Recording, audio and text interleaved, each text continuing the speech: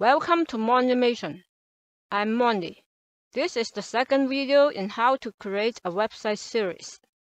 First, let's set environment variable for Sublime Text 3.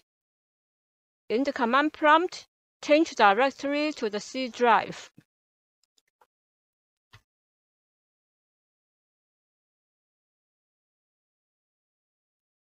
And type the setx command.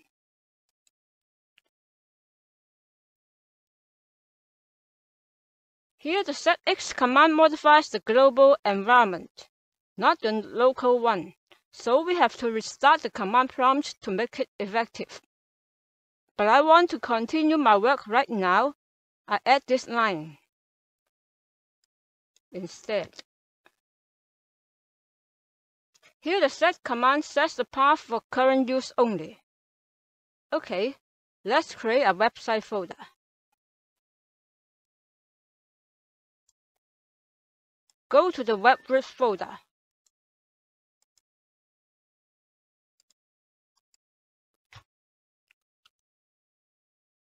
And then make a website folder and name it Simple Site. Oh, this folder name is already exists. Make another name.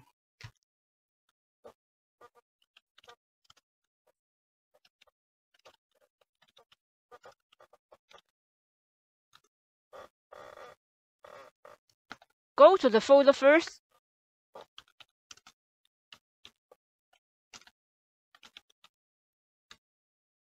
And then create a home page.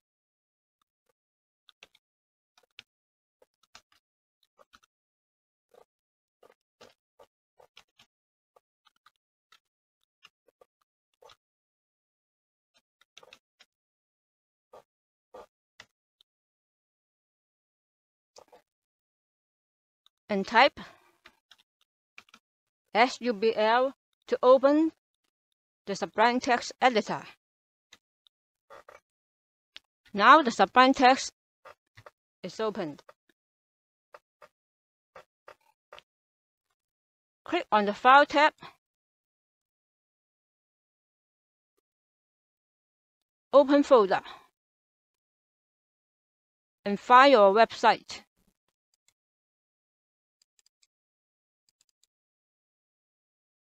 My site. This is the folder just created. Click on this and select folder.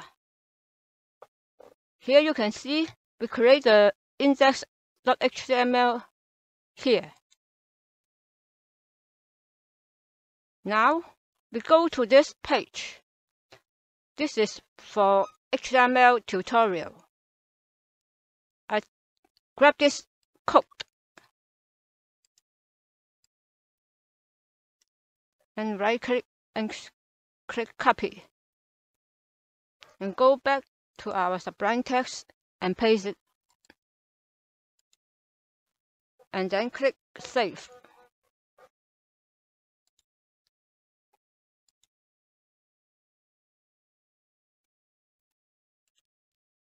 Now we can preview the index page by clicking on the Browser Sync tab.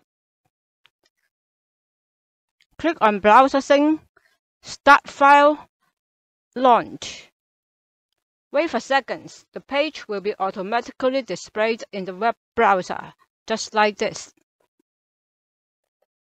If you cannot find the Browser Sync tab in your editor menu bar, click on the Preferences tab. And then Package Control.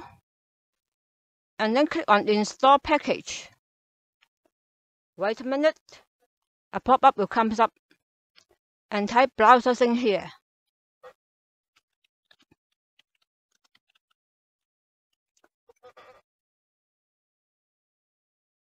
But I have already installed this plugin, so it will not display here again.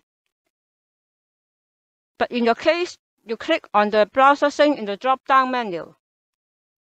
Then the installation process will start and the Browser Sync tab will be added on your menu bar. Okay. One more thing, go back to the command prompt and click on the X button here to close the command prompt. Next time you come back to the command prompt, just type SUBL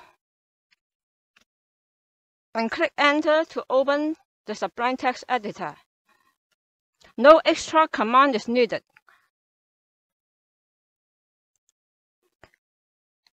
And click the X button at the top right corner to close the command prompt. Okay, that's all for now. In the next video, we will talk about how to create four pages with navigation bar for the website. If you find this video helpful, please don't forget to subscribe, like, share, and hit the bell to receive alerts on my new uploads. Thanks for watching.